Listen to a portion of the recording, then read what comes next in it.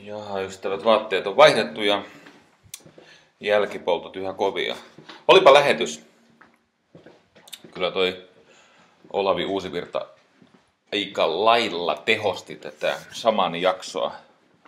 Olisi siis onnistunut Susanna Arnion kanssa myös kahdestaan, mutta ei varmasti näin hyvin kuin Olavin kanssa.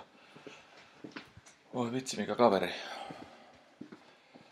Tämän päivän kuitenkin tärkein tavoite oli saada aikaan käänne tässä Tuukka Temosen ja Taru Tujusen ja Kirsipihan riidassa. Ja jostain käänteestä on pakko puhua, jos on julkisesti suorassa lähetyksessä pyydetty anteeksi.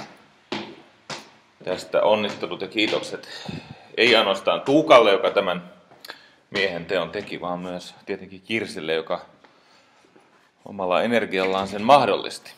Ei mennyt aivan riittelyksi. Ja Mikko Ilonen, siinä on muuten pysähtynyttä läsnä olevaa energiaa. Tämästä väkeä saa tavata, kun tekee tämästä touhua. Ja onneksi tekin olitte mukana. Amen.